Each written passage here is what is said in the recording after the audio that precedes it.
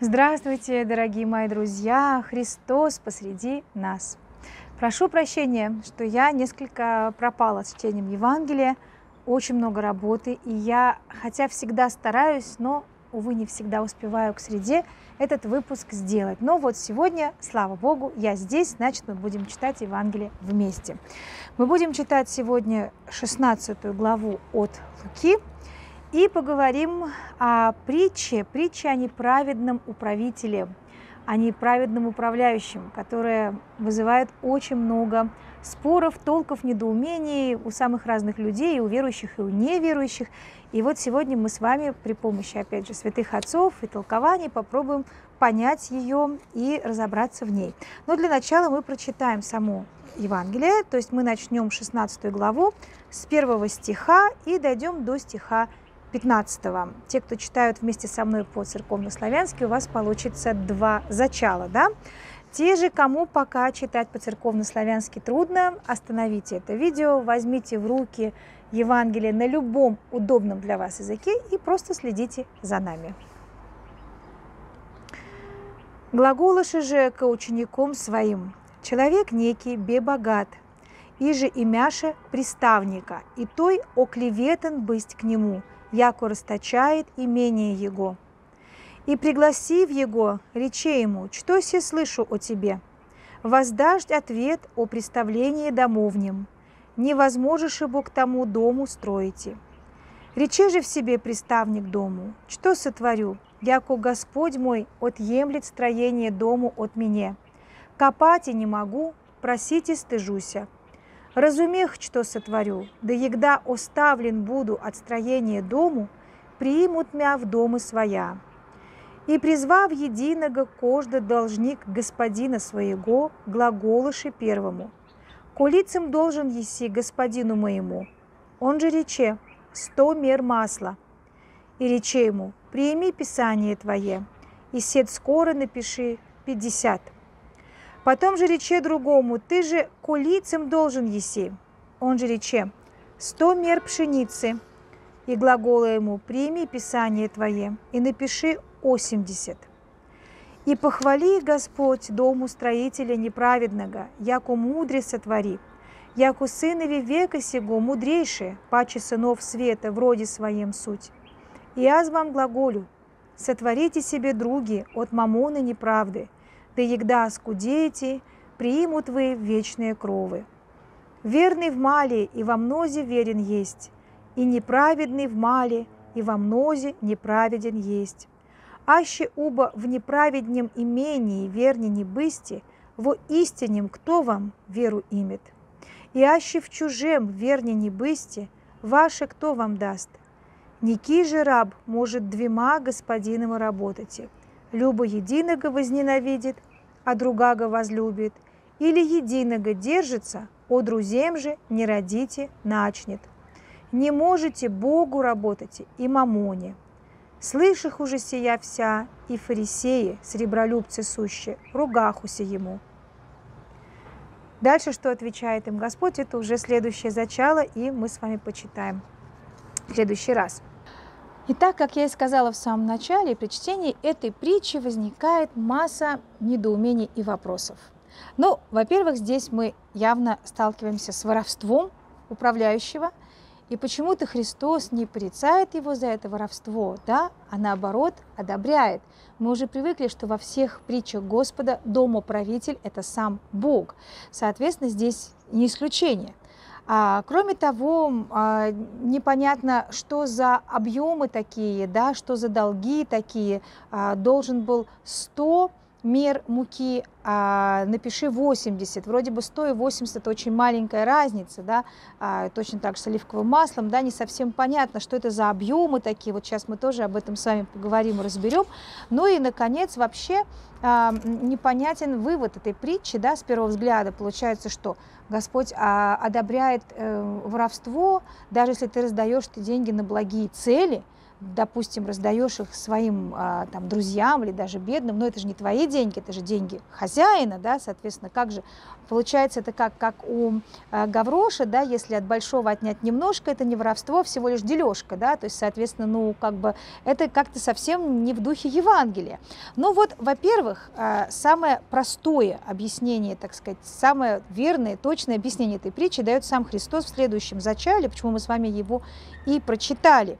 А Господь здесь, в этой притче, имеет в виду следующее, что а, если даже люди абсолютно не духовные, не, так сказать, верующие, Бога не боящиеся, которые воруют там, да, занимаются нечестно каким-то делом, и то понимают, что нужно тратить эти средства и на добрые дела тоже, помогать бедным или кому-то, для того, чтобы люди потом тебя не оставили в беде, да, то есть ради будущей выгоды.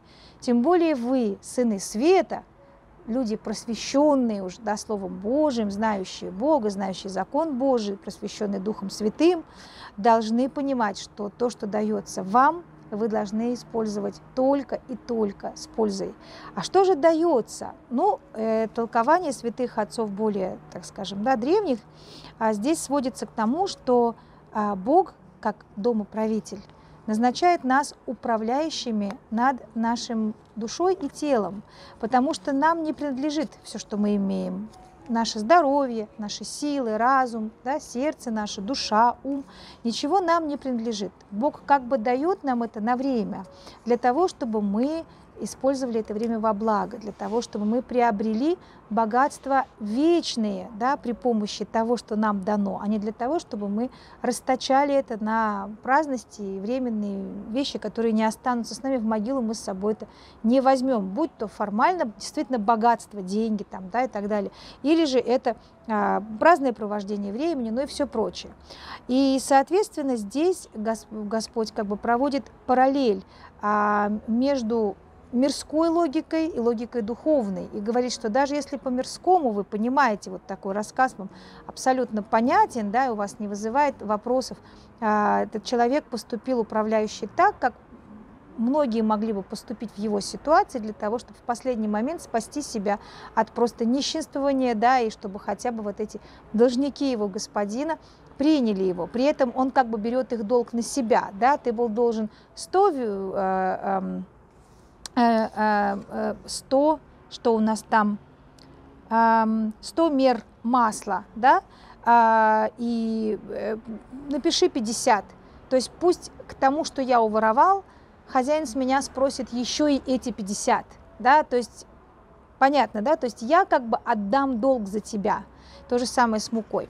А, и тогда в благодарность эти люди потом примут его. Хотя, конечно, он неправильно поступает, что он как бы опять обворовывает своего господина, но он это делает из практических целей, но тогда непонятно, почему господин хвалит его за это. Вот тут возникает вопрос такой, который внимательные читатели, и верующие, и неверующие всегда замечают и говорят, ну подождите, стоп, это все правильно, да, и все это понятно, и логично, это в духе, так сказать, вообще всего Евангелия, и все понятно, но тогда что же это за домоправитель такой, который похвалил за то, что тот еще больше его обворовал, да, получается.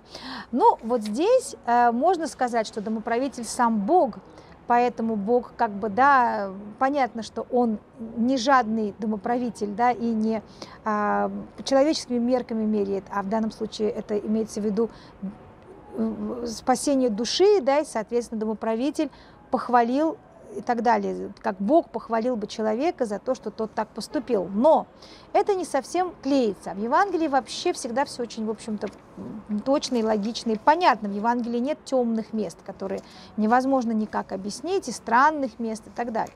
И вот э, есть объяснение этой притчи на основании знаний э, быта и жизни евреев в период Христа. Соответственно, как было устроено. И вот если с этой точки зрения посмотреть, то в этой притче вообще не возникает никаких вопросов, что мы с вами сейчас и сделаем.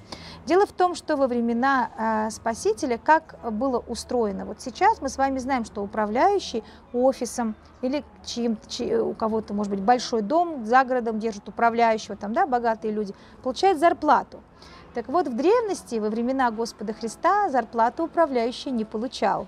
А как же, на что же он жил? А вот, ну, во-первых, дом у него мог быть э, там, да, он мог жить там же, в, на вилле своего господина, в том имении, которым он управлял, да, питаться тоже мог со стола господина, но тем не менее, а зарплата? А зарплата была очень интересная. Вот представьте себе, что у какого-то богача есть а, имение, есть какие-то угодья, например, там вот в данном случае явно это масличная роща, пшеничное поле, да, и есть у него арендаторы, которые эти земли у него арендуют. И вот они должны каждый год с ним рассчитываться. Чем они рассчитываются? Ну, разумеется, урожаем. И вот, соответственно, 50 а, батов – это примерно 200 ведер масла. Каждый год арендатор должен, вот оливки собрал, масло выжил, 200 ведер должен отдать хозяину. Да? То же самое с мукой. Одна, э, в данном случае э, мера муки, ну, скорее всего, это имеется в виду кор, да, кор или корос, это получается порядка 180 килограмм. То есть, значит, 180 эм, килограмм умножаем, тут получается у нас на 80, вот это количество муки должен хозяину отдать арендатор этого поля или полей, ну вот этой территории, с которой он урожай снимает, да. То есть, во-первых, мы видим, что это приличная, мягко выражаясь, да, то есть довольно дорогая плата за пользование этим полем. И вот управляющий, заключает договор с арендаторами, мог назначить свою теперь долю. Сколько должен теперь арендатор ему, управляющему. То есть, по идее, он мог приписать какую-то незначительную еще сумму, ну, разумеется, там не в два, не в три раза выше, понятно, тогда арендатор просто уйдет и не станет вообще дело иметь, да, а, но какую-то сумму он приписывал. То есть, скажем так, он не доводил до сведения арендатора, сколько действительно хозяин с него берет.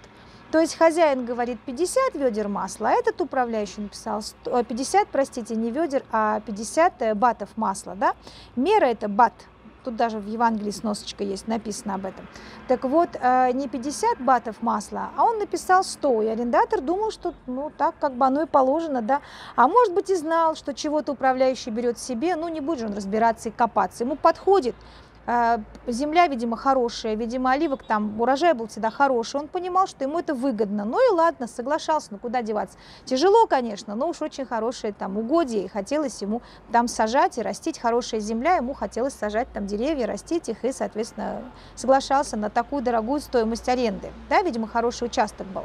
То же самое с пшеницей. Пшеница дает меньше, поэтому тут управляющий приписал поменьше. Не в два раза, а ну, пшеница дешевле продается, чем оливковое масло, а хлеб дешевле. Поэтому, соответственно, он приписал только 20 а, мер дополнительных да, муки. И вот он начинает э, пировать, естественно, как бы он хороший заработок получает, этот э, управитель особо не трудясь, да, только за то, что он надзирает за этим и за то, что в его руках контракт, и он непосредственно от имени господина все этот бизнес ведет, и он начинает пить, гулять, блудить, видимо, и, наверное, кого-то он обидел, или, может быть, просто кому-то все надоело, и донесли хозяину. И хозяин говорит, ну-ка, ты, наверное, мои деньги там растрачиваешь, ну-ка, дай-ка мне отчет и убирайся отсюда. А он на самом деле, если так посмотреть, получается, как бы не совсем хозяйские деньги растрачивал, а он просто брал лишнее с арендаторов – Хотя, конечно, то, что выросло, оно же выросло на хозяйской земле, но это уже слишком, так сказать, высокие материи. Да, в принципе, он просто гулял нас честно выторгованные с арендаторов свои проценты. Да? И вот что он делает. Он соображает, что сейчас его прогонят. Рекомендацию ему хорошую не дадут. Без рекомендации он никуда не устроится работать. Соответственно, он понимает, ему надо срочно подружиться с кем? с арендаторами, чтобы они хотя бы взяли его, ну хотя бы копать там виноградник, хотя он пишет «копать не могу», э, вернее написано, что «копать не могу, просить стыжусь», да, копать он уже разучился за столько лет э, царствования своего на этих фазендах, да, а, милостыню просить, его все знают, обычно управляющие это были не рабы, а вольно отпущенные люди, управляющих хороших передавали друг другу, а если вдруг он переезжал или уходил из одного места, хозяин всегда ему отличную рекомендацию давал, чтобы он к другому пошел. Соответственно, управляющие это были люди, ну, как бы небезызвестные, в общем-то, их знали, и его, конечно, знали. И ему, конечно, было стыдно, что он теперь будет просить милостыню.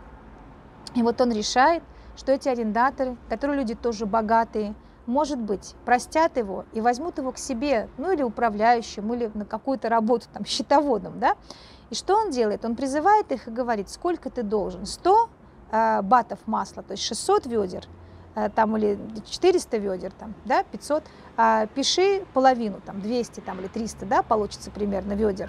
Ты должен э, 100 мер э, там, пшеницы, да, пиши 80. То есть только то, что хозяину, а все свое я отдаю. Да? То есть я как бы свою долю не беру. То есть я этот год зря работал, да, ну то есть что-то там работал, все-таки он, конечно, что-то делал. Вот такое есть толкование этой притчи. Это только вариант, его нам предлагает архиепископ Лолий. А, такой был в Подольской епархии, если я не ошибаюсь, он служил на Украине в 1935 году, он умер, и у него вот такой, если он был специалистом вообще по Ближнему Востоку, он был историком, историком церкви, вот а, он такой предлагает нам объяснение. И тогда понятно, почему управитель дома похвалил его, он увидел в этом шаге, что управляющий исправился – то есть он деятельно исправился, он отказался от того, что он несправедливо, как бы незаконно хотел нажиться с этих арендаторов, да, и, соответственно, он таким образом принес покаяние, он быстро изменился, быстро исправился. Ну вот, то есть, видите, можно понимать это так, а можно понимать, как он взял на себя вину, типа того, все равно я должен кучу всего, все равно меня сейчас, э, там, не знаю, накажут, да, или что мне придется и дом свой продать, и вещи продать, чтобы отдать долги. Я еще и чужие долги на себя возьму. Может быть, потом эти люди в благодарность за это меня примут. В любом случае, вывод из притчи один. Один и тот же вывод заключается он в том, что Господь объясняет нам, что мы не можем работать Богу и мамоне. В чем это заключается? В том, что э, нельзя любить деньги ради денег, нельзя любить деньги больше всего на свете, стремиться к ним. Да, человек может иметь желание зарабатывать, преуспевать, но главная его цель должна быть тогда помочь нуждающимся этими деньгами. Ни в коем случае не для себя, не про запас, не вбивать в свою семью, не наполнять свой дом полной чашей, но потом что осталось, можно там на детский дом пожертвовать, да, а зарабатывать для того, чтобы в твоем деле, в твоем бизнесе или офисе, или там на твоей стройке, не знаю, рабочие получали рабочие места, люди получали хорошие зарплаты, могли бы кормить свои семьи. Ведь, в принципе, человек такой, как домоправитель или хозяин завода, предприятия, фирмы, он прежде всего обеспечивает рабочие места. Это очень важно, важный момент. Если он честно, хорошо платит людям, то это, конечно, благое дело, естественно, иначе где бы люди работали. А также, э, если человек раздает э, бедным, не только храмам и монастырям, есть масса мест, куда можно пожертвовать, да, и детских приютов, и всевозможных благотворительных организаций. Соответственно, человек сам живет скромно, отдает все нищебратьей, да, вот так просто, как это в Евангелии, собственно, и написано. И э, если только ты начнешь наслаждаться своими деньгами, да, или единого держится, о друзьям же не родите, начнет, э, да, человек, или одного э, возненавидит, другого возлюбит. То есть если человек только начинает тешиться своими деньгами, своим богатством и шикарничать, тут же он отходит от Бога. То есть невозможно да, находиться и как бы в двух состояниях одновременно, роскошествовать в этой жизни и при этом считать, что ты служишь Богу и жить с Богом. И вот фарисеи, конечно, рассердились, потому что фарисеи считали богатство благословением Божьим, и что они вправе наслаждаться и пользоваться им за то, что они праведники, живут пред Богом честно, Бог им все дает, так почему они не могут, э, так сказать, да, и пиры устраивать, и все. Господь говорит, что нет.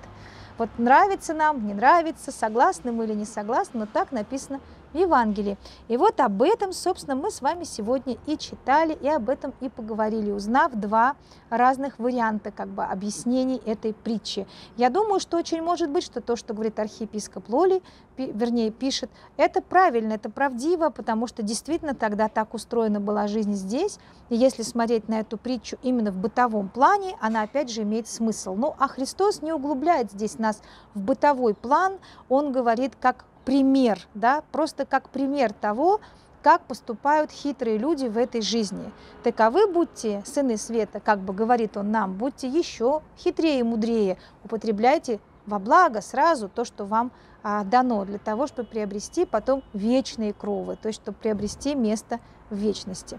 Тем, всем тем, что вам дается в этой жизни. Используйте это ради этой цели. Да? То есть вот в принципе так. Ну вот, мои дорогие, дорогие друзья, Хочу обратить ваше внимание, что у нас появился новый а, шарик наверху.